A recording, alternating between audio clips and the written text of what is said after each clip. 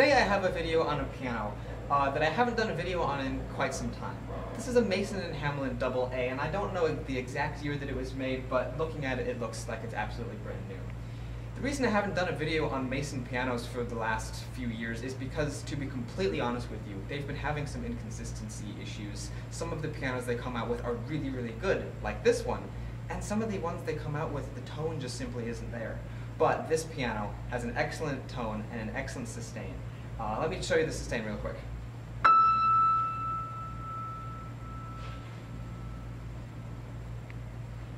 I didn't hit the note very hard. If I hit it harder, it probably would have sustained for at least another second or so. And uh, the sustain is very excellent. The tone up here is very, very nice. Uh, the treble is very sparkly and bright, and then the bass, especially for such a small piano, surprisingly deep and rich, and uh, overall the tone of the piano is very, very nice. Another thing I like about this particular piano is the wood finish on it. You have the really cool contrast between this nice rich brown and then the stark black. And you have that on the fall board, on the music desk, on the inside rim of the piano, the lid support, and also the underside of the lid, which is something piano manufacturers don't do often, but when they do, it looks super cool. So I'm going to play an original composition of mine. It's called Things That Make You Stronger on this new Mason & Hamlin Double A, and I hope you enjoy it.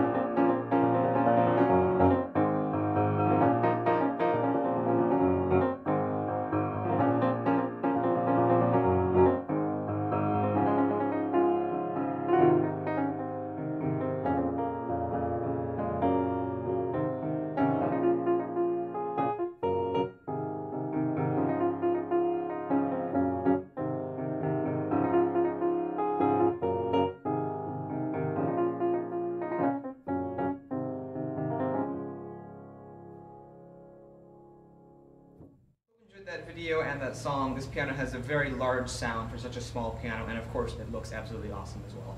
So hopefully you enjoyed that video. You can go check out some of my other content, and uh, maybe you'll think it's cool enough to subscribe. Thank you, and I'll see you in the next video.